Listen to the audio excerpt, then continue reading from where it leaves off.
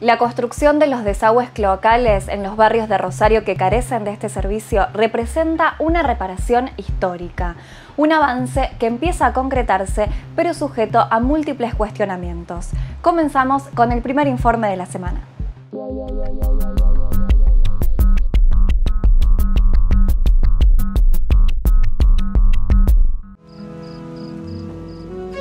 Casi la mitad de la población de Rosario no cuenta con desagües cloacales.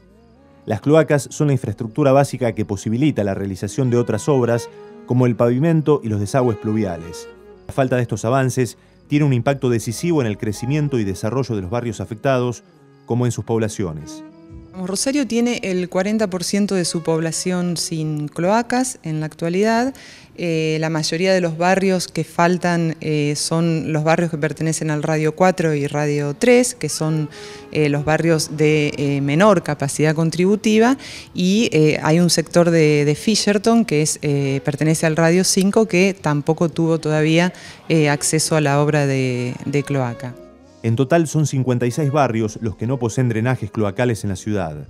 Se trata de más de 9.000 cuadras donde la calidad de vida de los vecinos se ve seriamente afectada, con un enorme riesgo sanitario.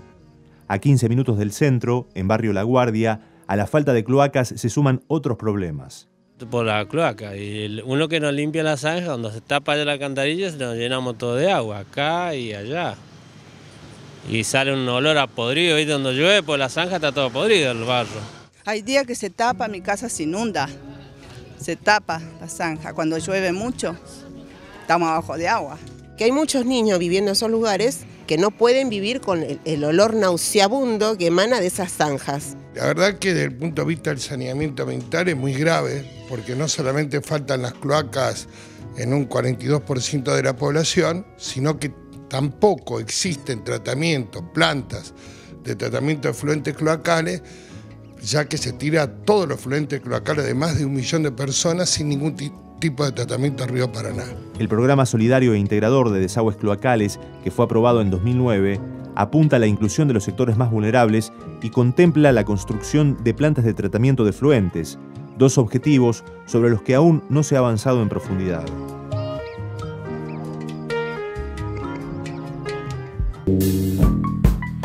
Financiamiento de las obras cloacales en Rosario instala un debate en todo el arco político. Las voces contrarias apuntan a que la municipalidad no debe hacerse cargo de una obra que le corresponde a la provincia. Segunda parte del informe.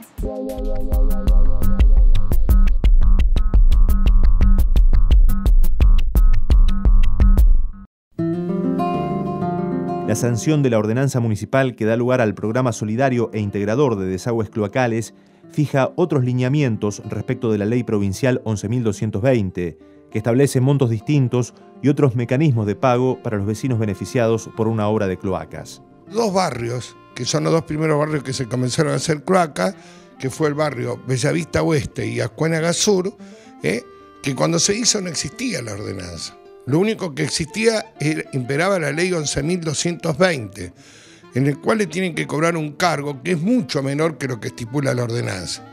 Entonces, la Municipalidad de Rosario, que por la ordenanza tenían que poner 40 millones de pesos a valores de diciembre del 2009 en el 2010, y tenía que poner 40 millones en, lo que va del 2011, ¿no es cierto? Eh, para el año 2011, siempre 40 millones a valores de diciembre del 2009, no puso un peso, cero la cloaca debe ser una obra hecha por la provincia de Santa Fe.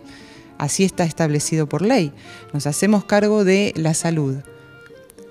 Bueno, bienvenido sea. Ahora nos vamos a hacer cargo de las cloacas, pero en definitiva, con el erario municipal dos veces se hace cargo el vecino a través del el pago de impuestos y que el municipio invierte en cloacas y a través del dinero que ahora le piden al vecino. Le están pidiendo al vecino que ponga el 50% de lo que vale la obra.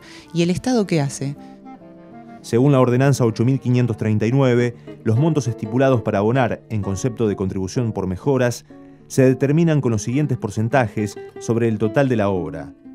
Los vecinos del Radio 1 aportan el 70%, el Radio 2 60%, Radio 3 50%, Radio 4 35% y Radio 5 70%. ¿De qué solidaridad puede hablar la municipalidad que le están sacando el, dinero a los vecinos de los barrios más pobres para pagar? Porque ya que la municipalidad no, no paga nada, no, no puso nada. El costo de la obra, el vecino paga entre un 30 un 50% según el barrio en el cual está. Y eso es solidario porque genera una masa de fondos que permite cubrir a aquellos que no lo tienen.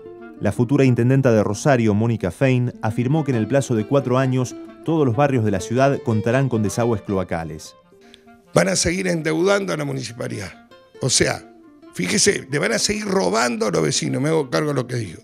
Van a hacer las cloacas con la plata que le, le da el Banco Mundial, a ustedes le cobran ¿no es cierto?, los vecinos, yo tampoco tengo nos cobran a los vecinos, ¿no es cierto?, y después, ¿no es cierto?, otras intendencias tendrán que pagar, lo cual aumenta el nivel de, de endeudamiento de la municipalidad y ellos, como tienen las finanzas totalmente quebradas, se evitan de poner un solo peso genuino proveniente de la recaudación de la municipalidad.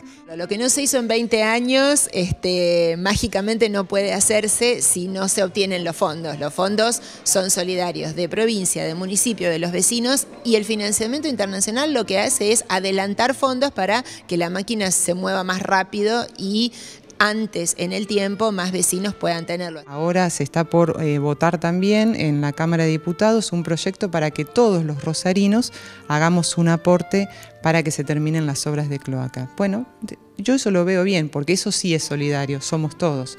Pero hoy, como está planteada la ordenanza, habla de un programa solidario, pero en realidad la solidaridad va a estar entre los que hoy actualmente están sin obra. Yo vivo en el centro, no, no puedo ser solidaria porque yo ya tengo la cloaca.